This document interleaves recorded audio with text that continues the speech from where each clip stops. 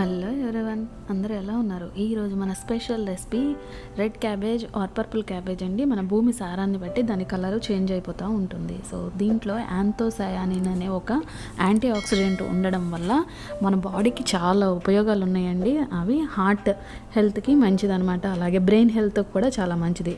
Heart problems ఏమైనా ఉన్నా తగ్గిస్తుంది.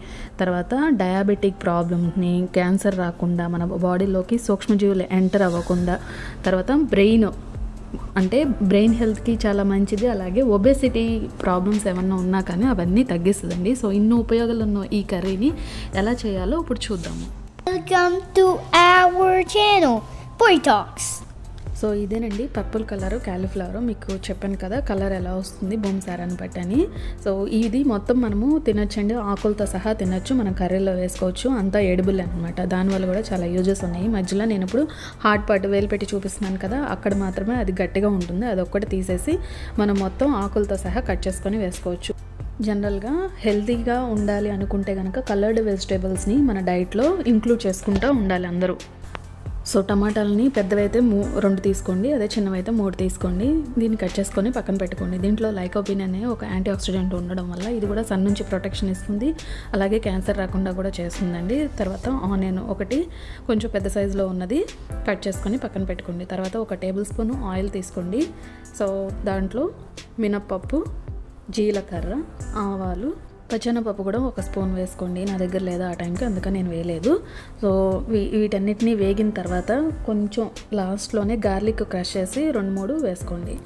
కరివేపాకు కూడా ఒక రెమ్మ వేసుకొని తర్వాత అది లైట్గా వేగిన తర్వాత ఆనియన్స్ టమాటా వేసుకోండి. సో ఇదంతా కొంచెం లైట్గా స్లో ఫ్లేమ్ మీద చేయండి.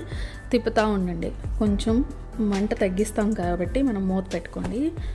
ఆవిరికి కూడా కొంచెం బాగా మగ్గిద్ది అనమాట సో ఇప్పుడు మన దగ్గర పెసరపప్పు ఉంటే కనుక ఆ పెసరపప్పుని ఒక కొంచెం అంటే పావు కప్పు నానపెట్టుకోండి ఒక గంట ముందు. అది కొంచెం జస్ట్ మనము నానిపోయిన తర్వాత మనం ఈ కర్రీలోనే వేసి కడిగి రెడీగా పెట్టుకోండి ఈ కర్రీ చేసే ముందు. సో ఇప్పుడు కొంచెం సేపు మగ్గింది కదా కర్రీ. ఇప్పుడు మన దగ్గర క్యాలీఫ్లవర్ ఫ్లారెట్స్ ఉన్నాయి కదా సో అవన్నీ మనం కట్ చేసి పెట్టుకున్నాము. అవన్నీ దీంట్లో వేసి ఒక ఫైవ్ మినిట్స్ మగ్గనివ్వండి. సో అంతా కొంచెం లైట్గా మగ్గనిచ్చిన తర్వాత మనం తిప్పుతూ ఉండాలండి. అప్పుడే మన పెసరపప్పు కూడా వేసేయచ్చు. సో ఒక ఫైవ్ మినిట్స్ అయిందండి. అందుకని పెసరపప్పు మనం రెడీగా పెట్టుకున్నాం కదా అదంతా వేసుకొని అప్పుడే సాల్ట్ తర్వాత పసుపు ధనియాల పొడి అంతా వేసుకొని మనము తిప్పుతూ ఉండండి. సో లాస్ట్లోనే సాల్ట్ వేసుకోండి. ఫస్ట్ వద్దు. తర్వాత పచ్చిమిరపకాయలు అల్లము పేస్ట్ అండి ఇది. సో ఫస్టే నేను గార్లిక్ని క్రష్ చేసి వేసుకున్నాను కాబట్టి ఇప్పుడు వేసుకోలేదు.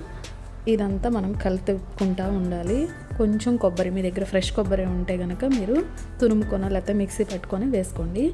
సో నేను నా దగ్గర ఫ్రోజన్ ఉంది ఉంది. సో అదే వేసానండి. లాస్ట్లోనే నేను నేను ఇప్పుడు ధనియాలు జీలకర్ర పొడి వేసుకున్నాను సో ఇదంతా ఒక టూ త్రీ మినిట్స్ మగ్గనిచ్చిన తర్వాత పొయ్యి కట్టేసిన తర్వాత కొత్తిమీర వేసుకోండి. దీంట్లో కూడా యాంటీ ఆక్సిడెంట్స్ ఉంటాయి. సో మీకు ఈ వీడియో నచ్చిందని అనుకుంటున్నాను. కొత్తగా చూసిన వాళ్ళైతే సబ్స్క్రైబ్ చేసుకోండి. థ్యాంక్